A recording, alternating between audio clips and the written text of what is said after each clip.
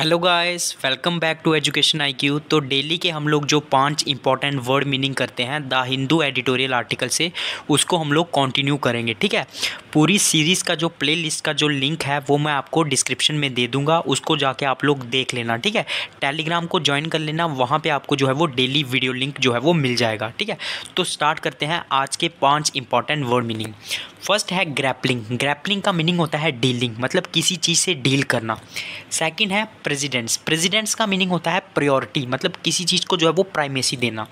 Third है spurt spurt का meaning होता है बाउंस मतलब उछाल। फोर्थ है शॉर्ट शॉर्ट का मतलब होता है काइंड मतलब प्रकार। ठीक है? फिफ्थ है ग्रैनुलर लेवल ग्रैनुलर लेवल का होता है इंक्लूडिंग स्मॉल डिटेल मतलब जिसमें जो है वो काफ़ी कम डिटेल जो है वो शामिल हो। ठीक है?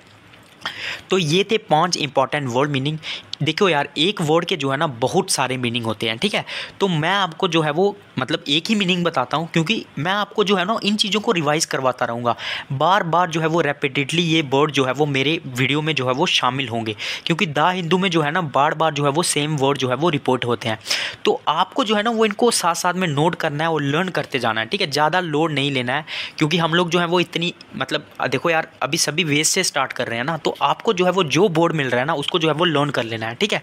उसके जो भी डिफरेंट मीनिंग होंगे वो धीरे धीरे हिंदू न्यूज़पेपर पे आते जाएँगे और वो, वो मैं आपको पढ़ाता चलूँगा। तो इन सीरीज़ को जो है वो आप कंटिन्यूसली फॉलो करो।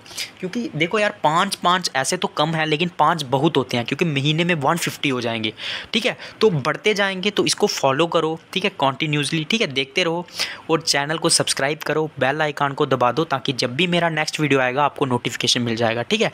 तो लाइक करो शेयर करो टेलीग्राम को ज्वाइन करो जय हिंद।